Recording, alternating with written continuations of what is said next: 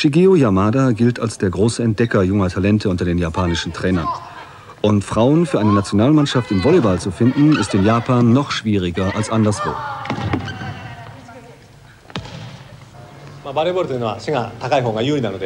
Das Problem sei, große Spielerinnen zu finden, sagt Shigeo Yamada. Er halte deshalb ständig Ausschau nach großen Mädchen. Das gehe so weit, dass er auf der Straße nur hinter besonders großen Frauen herschaue, selten hinter besonders attraktiven. Dazu komme noch, dass in den 8000 Mädchenmannschaften, die in den japanischen Schulen Volleyball spielen, vor allem kleine Spielerinnen eingesetzt würden. Mit denen habe man schneller Erfolg als mit den tapsigen Langen, die wesentlich schwerer zu trainieren seien. Seine Arbeit bestehe zu 50 Prozent daraus, regelmäßig alle 8000 Teamlisten der Schulen nach großen Spielerinnen durchzusehen.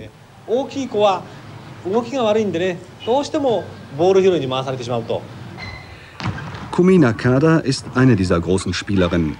Mit ihren 1,76 Meter ist sie für unsere Maßstäbe nicht gerade eine Riesin, aber sie ist damit doch 20 cm größer als der Durchschnitt der japanischen Frauen. Deshalb trainiert die japanische Frauennationalmannschaft fast ausschließlich mit Männern, die eher den Größenverhältnissen der Teams im internationalen Frauenvolleyball entsprechen.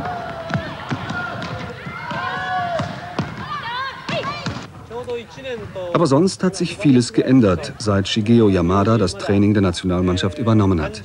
Chinesische Journalisten als Zuschauer, das hätte es früher kaum gegeben, da die Chinesinnen im Volleyball doch die größte Konkurrenz sind, nicht nur in Ostasien. Aber Yamada gibt bereitwillig Auskunft. Er wird auch erzählen, dass er nichts von der bedingungslosen Schleiferei hält, mit der zum Beispiel vor den Olympischen Spielen in Tokio der damalige Trainer Daimatsu eher berüchtigt als berühmt geworden ist. Yamada vertraut mehr einer umfassenden psychologischen Betreuung der Frauen und einer rationellen Schulung von Technik und Kampfkraft.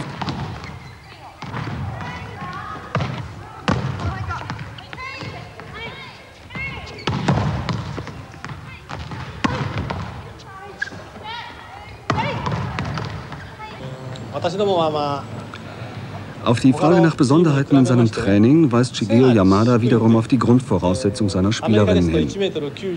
Die Durchschnittsgröße der Japanerinnen sei eben wesentlich geringer als die der anderen Teams.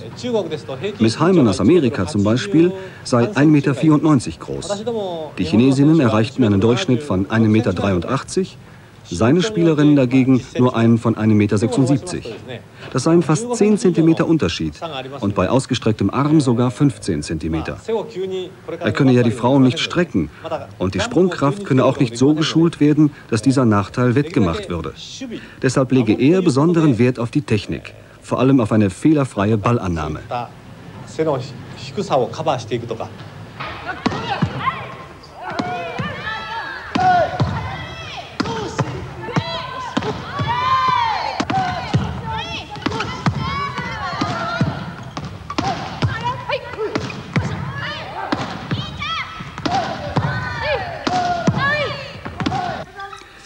Ja, es sei schon kein einfaches Training, manchmal sogar ganz schön hart, antwortet Yumi Egami, die Spielführerin.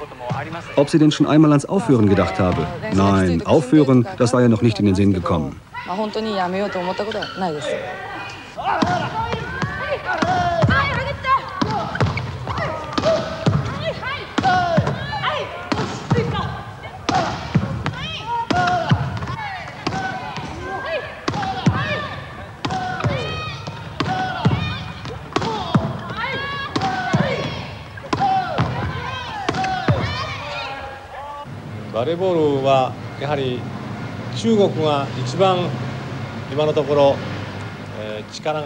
Er halte die Chinesinnen für das stärkste Team in Los Angeles, antwortet Shigeo Yamada auf die Frage nach dem Olympia-Favoriten.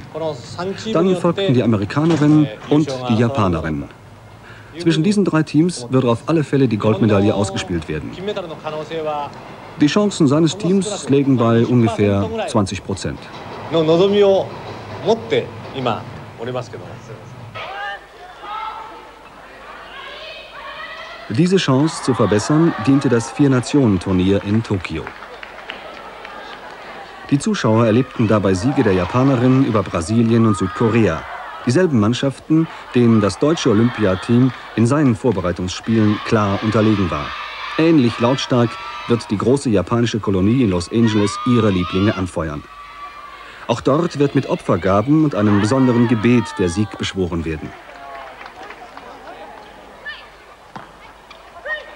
Mit solcher Unterstützung wird es auch in Los Angeles Grund zur Freude geben.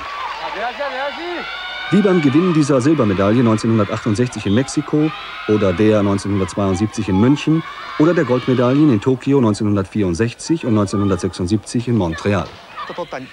Bei der Fernsehübertragung des Turnierendspiels erlebten die japanischen Zuschauer eine herbe Enttäuschung. Ihr Team verlor mit 1 zu 3 gegen Kuba.